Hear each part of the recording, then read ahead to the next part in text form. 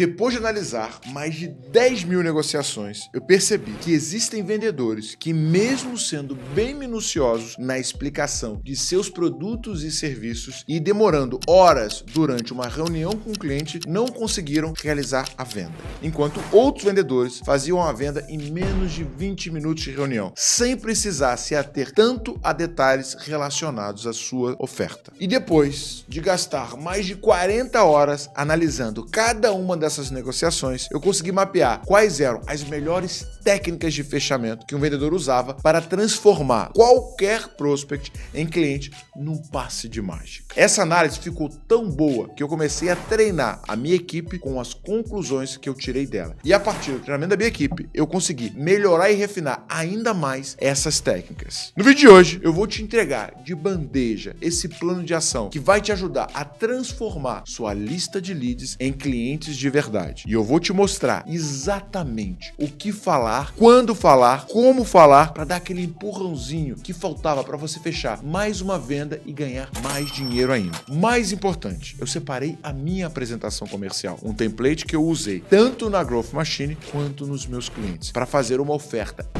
irresistível. Eu vou liberar nesse vídeo se ele bater 200 comentários. Para isso, já comenta aqui embaixo, já joga para alguém. Quanto mais comentários você fizer, melhor. Até porque eu sei como fechar uma venda pode ser difícil. É nessa hora que bate aquele nervosismo, aquela suadeira. E até que você, nervoso, começa a fazer sua oferta, mas depois fica aquele silêncio mortal e você não sabe se fala mais alguma coisa ou se espera a resposta do cliente. Bom, se esse é seu caso, você não está sozinho. 40% de todos os vendedores dizem que fechar a venda é a parte mais estressante de todo o processo de vendas. Mas não se preocupe, porque hoje eu vou abrir a caixa preta das vendas e eu vou te armar com todas as ferramentas que você precisa para nunca mais passar por esse nervosismo e se tornar um mestre quando o assunto é fechar uma venda. Antes de começar, se você ainda não me conhece, meu nome é Thiago Reis, seja muito bem-vindo ao quadro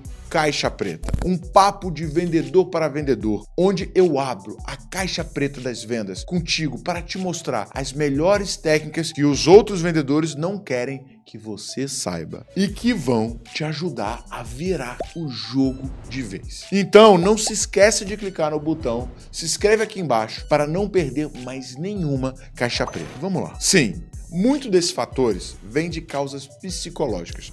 Esse não é o foco desse vídeo, até porque eu já gravei um vídeo inteiro te explicando como é que você lida com as suas emoções durante a venda. Se você quer ver, eu vou deixar aqui na descrição desse episódio e também vai aparecer nos vídeos sugeridos. Depois que terminar esse vídeo, corre lá e já assiste. O que eu vou te passar agora é o lado totalmente tático, com que você pode aplicar assim que sair desse vídeo e já ver um resultado imediato nas suas conversões. E a primeira coisa que você precisa entender para dominar as táticas de fechamento é que o fechamento de uma venda é a consequência de tudo que você faz durante a venda. Pense que fechar uma venda é como pedir uma pessoa em casamento. Fala sério. Em 99% dos casos, uma pessoa pede a outra pessoa em casamento, ela já sabe que a pessoa vai aceitar o pedido. Você já passou um bom tempo com a pessoa para conhecer ela muito bem, você já se sente realmente que combinam e podem construir um futuro juntos, ou pelo menos eu espero. E o pedido é só um jeito de deixar tudo isso formal, quase que legalização disso que já estava certo. Quando você vai para o fechamento, é a mesma coisa. O que, que acontece? Não é no fechamento que você fecha a venda. Na verdade, o seu cliente já se decidiu. No fechamento você formaliza. E a ideia é você conhecer o cliente tão bem que você já sabe que ele vai aceitar o teu pedido. Por isso que antes de falar sobre técnicas específicas para fechar vendas, nós precisamos entender toda a construção que leva até o fechamento. E principalmente entender por que é tão importante entender sobre essas técnicas. Então, eu quero que você preste atenção rapidinho aqui nesse gráfico. Pegando o exemplo de uma loja, nós sabemos que a cada 100 pessoas que entram nessa loja, 10 delas vão comprar alguma coisa. Elas só não vão comprar se você fizer uma grande cagada. E para ser sincero, essas são vendas que já estão feitas. Mas dessas 100 pessoas, também tem 10 pessoas que nunca vão comprar. Por mais esforço que você coloque naquela venda, você só vai estar perdendo tempo. Só que todo o resto, ou seja, 80 pessoas, vão estar confusas e elas precisam de ajuda para decidir o que comprar. E elas têm interesse e elas querem saber mais. E é para essas pessoas que a gente estuda tanto sobre vendas. São essas pessoas que vão fazer o seu negócio efetivamente crescer. E é por elas que você precisa dominar as técnicas de fechamento que eu vou te mostrar aqui hoje. Então, a gente precisa agora entender quem são essas pessoas. Essa é a parte da qualificação e que eu não vou entrar muito a fundo aqui, porque eu imagino que você está vendo um vídeo sobre técnicas de fechamento, você já entende o básico sobre isso. Mas o que você precisa ter em mente é que você precisa vender algo que a pessoa realmente deseja. E por mais óbvio que isso seja, eu ainda vejo muitos vendedores que focam no produto que ele vende ao invés de focar na transformação que esse produto entrega. É aquela clássica frase que diz: o teu cliente não quer uma furadeira, ele quer um furo na parede. E, consequentemente, o que ele está buscando é ter uma sala mais bonita. Então, você precisa entender uma das duas coisas. Ou você está resolvendo um problema, ou o que você vende ajuda a pessoa a satisfazer algum desejo, algum prazer para ela. E é aí que você precisa posicionar o seu produto. Mas tem um porém. E é isso que eu vou falar agora. É o fator mais importante de qualquer venda que você for fazer na sua vida. Então, presta muita atenção. O seu cliente quer algo transformador, mas por algum motivo ele ainda não conseguiu chegar lá. E é aí que você entra. O seu papel como vendedor é mostrar para essa pessoa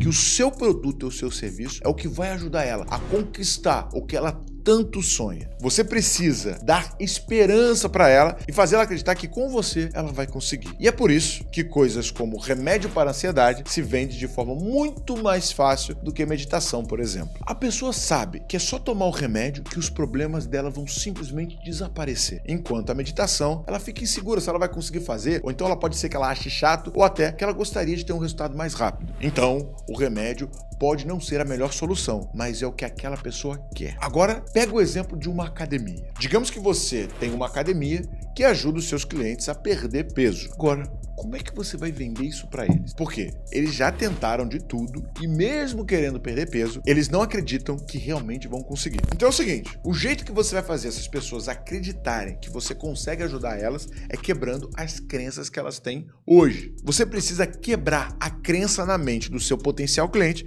de que ele não vai conseguir perder peso na academia. Senão, você não vai conseguir fechar a venda com ele. Então é o seguinte, cara, quando você está fazendo um processo de vendas, principalmente vendas mais simples, com tickets mais baixos, geralmente um script de venda já validado já vai te ajudar a conseguir chegar nesse resultado. Agora, em vendas mais complexas, geralmente o próprio cliente que precisa chegar à conclusão de que trabalhar com você é o caminho para o sucesso. Tem três coisas que você precisa falar durante o seu fechamento. Sócrates, que foi um dos maiores, se não o maior filósofo de todos os tempos, fazia isso muito bem. Ele aplicava uma tática que ele chamou de maiêutica, que consiste em fazer perguntas que vão levar alguém a refletir sobre seus próprios erros e encontrar a verdade, sem que você imponha essa verdade.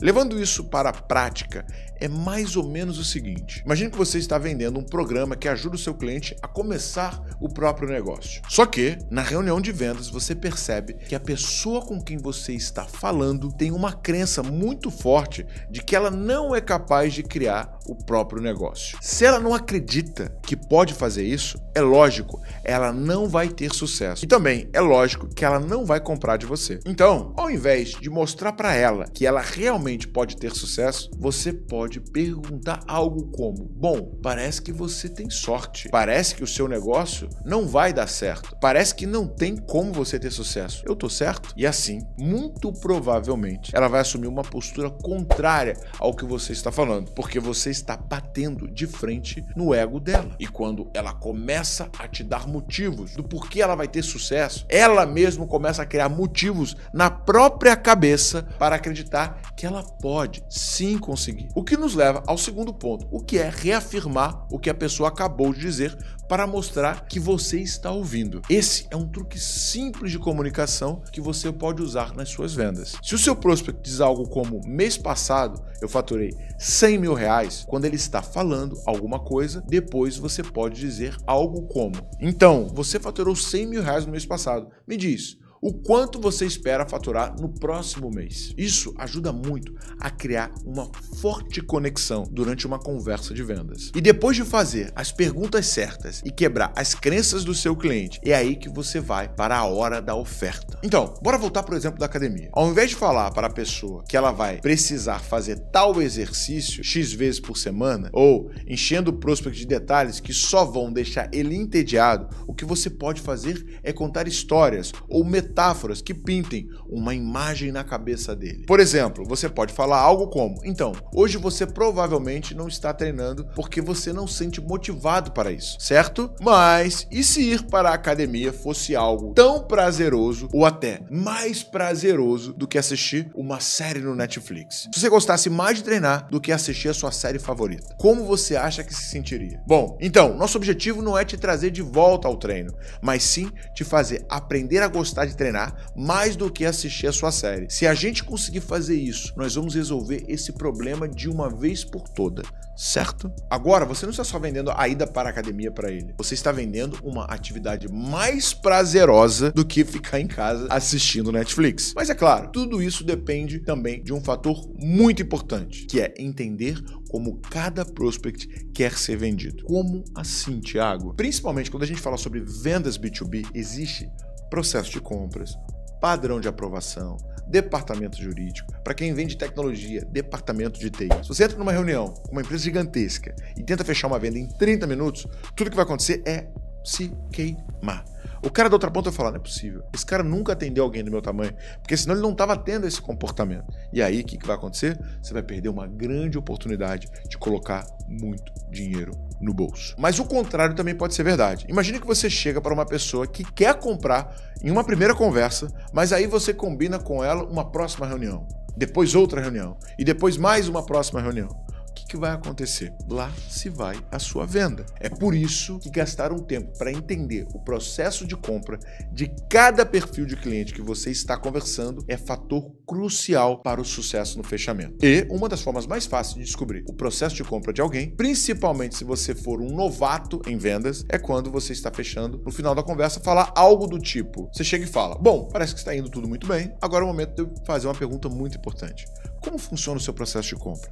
Me explica exatamente quais são as etapas, ou até mesmo o que eu preciso prover de informação para facilitar o trabalho da tua companhia. Assim, você não está falando que vai fechar naquele momento. Você só está tentando entender o que precisa acontecer para que a sua venda se efetive. Se a pessoa chega para você e fala assim: "Ah, eu preciso primeiro falar com o meu chefe", você já descobre que você fez uma besteira. Você não mapeou da maneira correta quem são os decisores e tem uma chance grande de você ter um esforço enorme para fechar a venda agora com o chefe da pessoa. Se a pessoa chega para você e fala agora, eu preciso te direcionar para o departamento jurídico, você já sabe que você vai ter uma fila de espera um pouquinho maior e que existe um processo um pouquinho mais burocrático para essa decisão acontecer. Beleza, agora vamos fazer o seguinte: finalmente chegou a hora do cliente fechar a venda contigo. Agora eu vou te mostrar as técnicas específicas que você pode usar antes e depois de anunciar o preço para o seu cliente. A primeira tática é que eu chamo de estratégia do oposto, e ela é uma das formas mais fáceis de pedir uma compra. Ela funciona fazendo uma pergunta oposta ao que um vendedor geralmente faz. Olha só esse exemplo. Você estaria totalmente oposto a seguir em frente para o final dessa ligação e ela é tão efetiva e tão fácil que, ao invés de você pedir o que todos os vendedores pedem, como você quer comprar isso ou você pode pagar agora, a pessoa se sente segura. Ela não sente que você está pressionando ela a comprar. Já a segunda tática é o que eu chamo de fechamento assumido. E para explicar ela, imagine que você tem uma loja de suplementos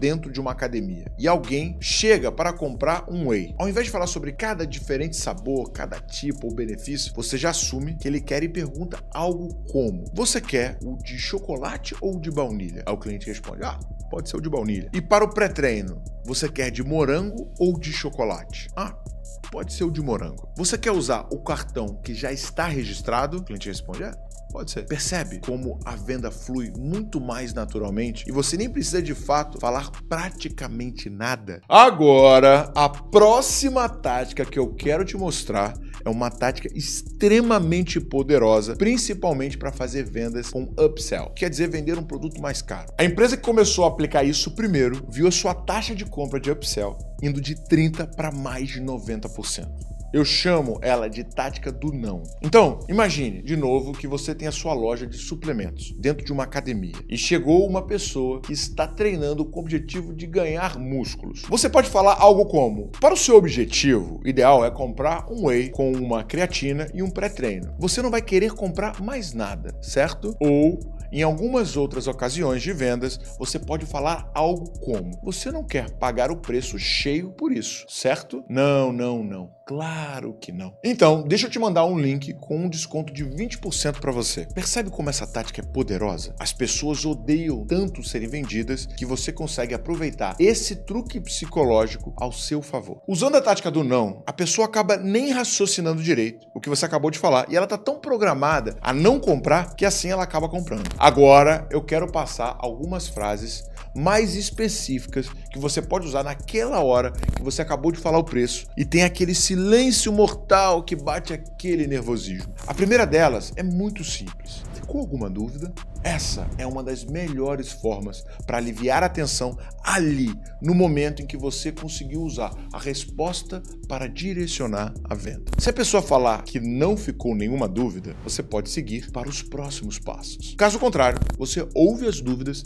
e repete o processo. A segunda é um pouco parecida com a tática do fechamento assumido, mas é a tática do ou ou. Você vai perguntar para a pessoa algo como: você prefere pagar no cartão ou no Pix? Isso já direciona para a compra de forma bem suave. A terceira, e mais específica para alguém que tem algum prazo de entrega, como um produto físico. Vamos supor que você já acabou de apresentar a sua proposta e o cliente está bem empolgado e talvez tenha ainda alguma objeção. Você pode falar: escuta, o meu maior especialista em atender empresas parecidas com a sua acabou de estar disponível de um projeto importante. Se a gente conseguir firmar hoje, eu consigo disponibilizar ele para o seu projeto. O que você acha da gente começar na próxima segunda-feira? Assim, você trouxe um benefício para uma decisão antecipada, mostrou escassez e ainda gerou urgência para o seu cliente tomar a decisão imediatamente.